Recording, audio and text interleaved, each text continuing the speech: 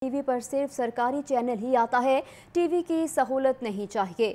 آپ کو بتائیں کہ نواز شریف نے جیل میں ٹی وی لینے سے انکار کر دیا، جیل ذرائع کا یہ دعویٰ سامنے آیا۔ ٹی وی پر صرف اور صرف سرکاری چینل ہی آتا ہے، ٹی وی کی سہولت مجھے نہیں چاہیے۔ سابق وزیر اعظم میاں محمد نواز شریف نے جیل میں ٹی وی لینے سے صاف انکار کر دیا۔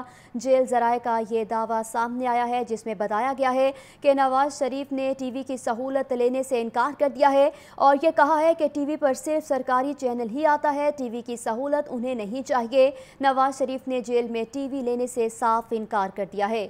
اہم خبر ہے، جس سے آپ کو آگاہ کرے کہ ٹی وی پر صرف سرکاری چینل آتا ہے اور ٹی وی کی سہولت مجھے نہیں چاہیے۔ یہ کہنا ہے سابق وزیر اعظم میاں محمد نواز شریف کا، جنہوں نے جیل میں ٹی وی لینے سے انکار کر دیا۔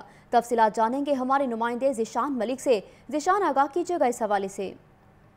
بالکل سابق وزیر اعظم میاں نواز شریف نے جیل میں ٹی وی لینے سے انکار کر دیا ہے۔ ان کو محکمہ داخلہ پنجاب کی جانب سے ٹی وی دیکھنے کی سہولت دی گئی تھی۔ تاہم، ان کا کہنا ہے کہ ایک سرکاری ٹی وی آتا ہے تو ایک ٹی وی کو ہی دیکھ کے میں نے کیا کرنا ہے۔ تاہم باقی چینلز نہیں آتے۔ یہ اس حوالے سے انہوں نے گلا کیا جس پہ جیل حکام کا کہنا تھا کہ مزید سہولیات نہیں دے سکتے۔ تو پھر میاں نواز شریف کا کہنا تھا کہ اس ٹی وی کو بھی لے جائیں۔ پھر یہاں پہ اس ٹی وی کو رکھنے کا بھی کوئی فائدہ نہیں۔